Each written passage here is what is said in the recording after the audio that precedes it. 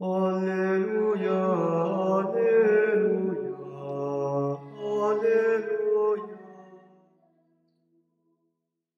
Ignacy Loyola urodził się w 1491 roku na zamku Loyola w arystokratycznej rodzinie.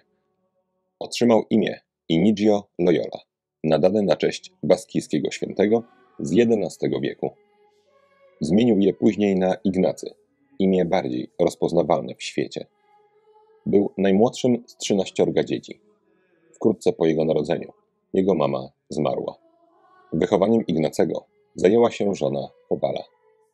W młodości przyjął tonsurę, która zapewniała mu przywileje należne duchowieństwu. Służył jako paź u podskarbiego królestwa Kastylii, a po jego śmierci jako członek gwardii przybocznej wicekróla Nawarry.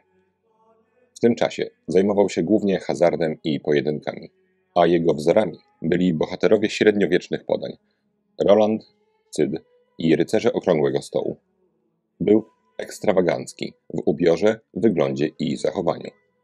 Pochłaniało go pragnienie zdobycia chwały. Wikłał się w rozmaite intrygi. Jego późniejsze wyznanie, że był wielkim grzesznikiem, nie było przesadzone. Był cenionym żołnierzem. W 1521 roku po raz kolejny wybuchła między Francją a Hiszpanią wojna o Nawarrę. Podczas bitwy pod Pampeluną Ignacy został ranny w nogę.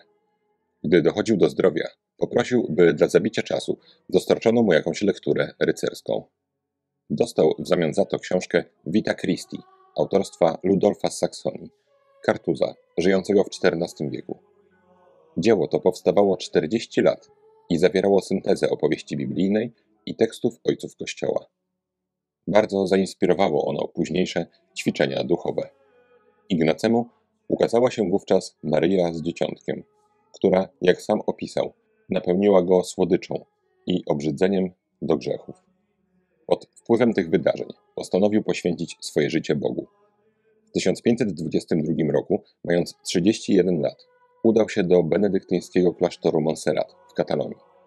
Odbył tam spowiedź z całego życia i złożył przed ołtarzem Najświętszej Marii Panny swoją broń.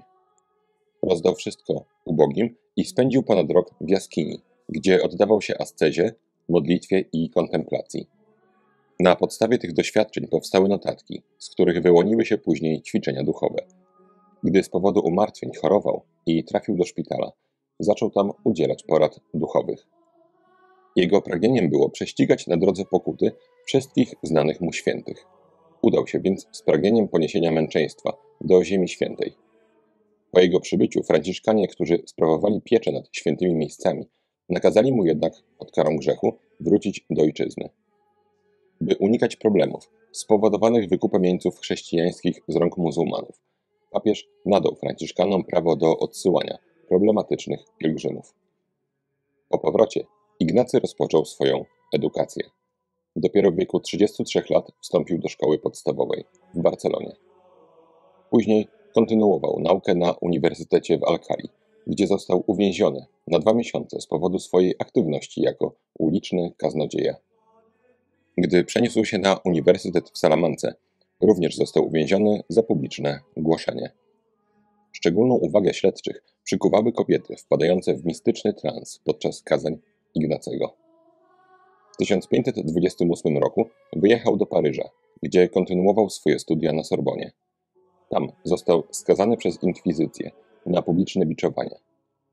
Początkowo wyroki przyjmował z pokorą, jednak z upływem czasu zaczął wnosić skargi i brać udział aktywnie w swoich procesach. Inkwizytor Paryża oczyścił go z zarzutów, a rektor uczelni poprosił o wybaczenie. I tak Ignacy ukończył Uniwersytet w Paryżu w wieku 43 lat. Na studiach poznał towarzyszy, którzy stali się zalążkiem przyszłego zakonu.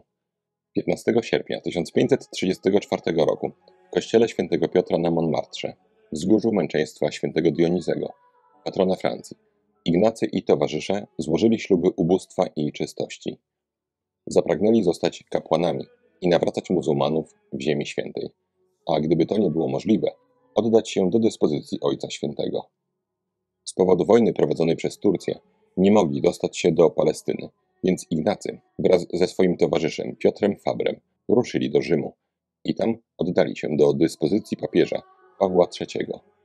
24 czerwca 1537 roku, w święto świętego Jana Chrzciciela, Ignacy wraz z kompanami przyjął w Wenecji święcenia kapłańskie i rozpoczął działalność duszpasterską na terenie Republiki Weneckiej. Co ciekawe, pierwszą mszę świętą ksiądz Ignacy odprawił dopiero po 18 miesiącach od święceń. Grupa używała początkowo nazwy Kompanii Jezusowi. Wpierw chcieli działać jako Stowarzyszenie Księży, jednak z czasem postanowili założyć zakon.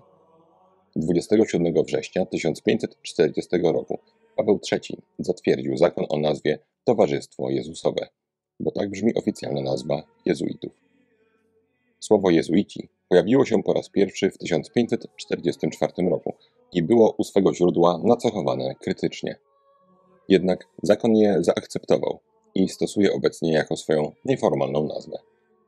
Początkowo liczba członków zgromadzenia ograniczona była do 60, jednak po kilku latach limit ten zniesiono. W kwietniu 1541 roku Ignacy Loyola został pierwszym przełożonym generalnym zakonu. Stanowisko to piastował aż do swojej śmierci. W Rzymie spotkał ambasadora cesarskiego, który był pod takim wrażeniem jego osoby, że sprowadził zakon na Sycylię, gdzie Towarzystwo Jezusowe otworzyło seminarium. Ignacy przy pomocy Franciszka Borgiasza, swojego przyjaciela i późniejszego generała zakonu, założył papieski Uniwersytet Gregoriański. Stał się on prototypem przyszłych kolegiów jezuickich. W 1548 roku po raz pierwszy zostały wydane ćwiczenia duchowne. Były one powodem kolejnego i ostatniego w życiu ojca Loyoli dochodzenia inkwizycyjnego. Ideą dzieła jest pomoc w ustaleniu, jaka jest wola Boża w odniesieniu do przyszłości wykonującego ćwiczenia oraz danie mu siły i odwagi do podążania za tą wolą. Ćwiczący w idealnych warunkach powinien odbyć cztery tygodnie rozmyślań. Pierwszy tydzień o grzechu i jego skutkach, drugi o życiu Chrystusa na ziemi, trzeci o jego męce, a czwarty o zmartwychwstaniu. Książeczka zawiera też pewną liczbę instrukcji, zwanych regułami bądź dodatkami, pouczających jak się modlić, jak unikać skrupułów i jak wybrać powołanie, bez ulegania miłości własnej lub światowej. Zgodnie z zamysłem Ignacego, ćwiczenia w całości powinny być wykonywane tylko raz lub dwa razy w życiu. Jednak w wersji trwającej 3 lub 4 dni mogą być one wykonywane co roku z jak największym pożytkiem. W 1550 roku papież Juliusz III zatwierdził nową konstytucję Towarzystwa Jezusowego. Czyniła ona zakon ściśle schierarchizowanym i podporządkowanym bezpośrednio papieżowi. Jak mówił ojciec Loyola, tak dalece winniśmy być zgodni z Kościołem katolickim, ażeby uznać za czarne to, co naszym oczom wydaje się białe, jeśli by Kościół określił to jako czarne. W latach 1553-55 ojciec Loyola dyktował swojemu sekretarzowi swoją autobiografię, która ujrzała światło dzienne dopiero po 150 latach. Latem 1556 roku ojciec Ignacy zachorował na tzw. Tak rzymską gorączkę, czyli włoską odmianę malarii. Zmarł w Rzymie 31 lipca 1556 roku, mając 65 lat. Został pochowany pod specjalnie dla niego zaprojektowanym ołtarzem w kościele Il Gesù w Rzymie. W chwili śmierci ojca Loyoli Towarzystwo Jezusowe liczyło tysiąc członków, którzy zamieszkiwali 100 domów zakonnych w 10 prowincjach. Ignacy Loyola został beatyfikowany w 1609 roku przez papieża Pawła V. Kanonizował go papież Grzegorz XV w 1622 roku. Jest patronem matek oczekujących potomstwa, rodzących kobiet i żołnierzy. W 1922 roku ojciec święty Pius XI ogłosił go patronem wszystkich rekolekcji w Kościele katolickim. Jego miejsce w historii kontrreformacji jest nieocenione. W dobie gwałtownej protestantyzacji to właśnie jezuici, ich misje i przede wszystkim ich szkolnictwo wiodły prym w zwalczaniu coraz to nowych herezji. Przede wszystkim udało się uczniom świętego Ignacego zrekatolicyzować elity rządzące wieloma państwami. Święty Ignacy Loyola był żarliwy, ale powściągliwy. Był nieustraszony, zdecydowany, prosty, rozważny i silny. Protestancki wizerunek Ignacego Loyoli jako niespokojnego, ruchliwego pragmatyka nie ma wiele wspólnego z rzeczywistością. Święty Ignacy był z usposobienia cholerykiem. Był pełen pasji i temperamentu. Gdy grzeszył, to na całego. Gdy się nawrócił i podjął pokutę, to również w pełnym wymiarze swojego życia. Był mocnym człowiekiem, adekwatnym do wyzwań czekających w jego epoce. Kochał dyscyplinę, ale gardził innymi motywami działania niż miłość Boga i bliźniego. Święty Ignacy Loyolo, módl się za nami.